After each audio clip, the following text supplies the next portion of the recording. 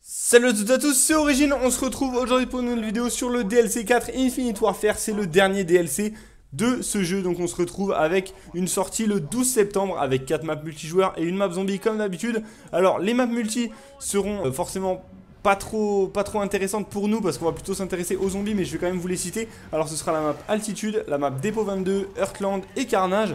Et pour ce qui est de la map zombie c'est The Beast from Beyond. Alors The Beast from Beyond en français ça donne la bête de l'au-delà. On peut reconnaître pas mal de choses dans cette map, il y a pas mal de clins d'œil je pense. On peut reconnaître surtout la map Moon avec une station spatiale et aussi le mode extinction de Call of Duty Ghost. Donc pour tous ceux qui y ont joué, moi personnellement ça m'y a fait vraiment penser. On peut voir au dernier moment dans le trailer une sorte de bête qui saute, vers nous. Et là, moi personnellement, j'ai vraiment reconnu le côté euh, extinction. Donc voilà, je vous mets un petit lien, je vous mets la photo à côté pour que vous puissiez faire le lien pour tous ceux qui n'ont pas joué. Mais moi personnellement, ça m'y fait vraiment penser. N'hésitez pas à me dire ce que vous en pensez dans les commentaires.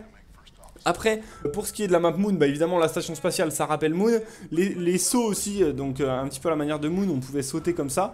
Après on pouvait aussi voir euh, des tenues de cosmonautes, donc ça c'est pareil. Est-ce qu'on va devoir porter ces tenues pour ne pas suffoquer? Est-ce qu'il y a des certaines parties de la map qui seront sans oxygène? Est-ce qu'on devra porter ça? Donc voilà, il y a vraiment plein de questions qui se posent. Moi personnellement j'ai noté surtout qu'on pouvait voir une map beaucoup moins éclairée que la dernière, l'attaque de la chose radioactive, qui avait été très très critiqué par le fait que ça ne faisait pas peur, que ça ne faisait pas film d'horreur et que euh, voilà, c'était forcément très éclairé au bord de la mer, c'était pas vraiment collé au thème du zombie. Et là, je trouve qu'ils ont plutôt respecté ça. Il y a plutôt une ambiance sombre, une ambiance enfermée avec toujours des, petits espaces. On peut voir des, stations spatiales, donc c'est quelque chose qui se prête beaucoup plus au film d'horreur que le bord de mer. Donc voilà, moi personnellement, je suis plutôt enthousiaste. J'ai vraiment envie de le tester. Ça sort mardi prochain. Dites-moi ce que vous en pensez. J'espère vraiment que ces petites explications vous auront plu. On peut voir des pièges laser, on peut voir pas mal de choses. Donc le trailer est assez court, hein, forcément 44 secondes.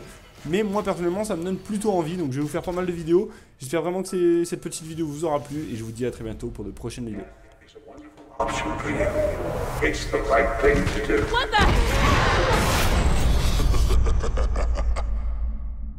Get the season pass now for DLC packs for one great price.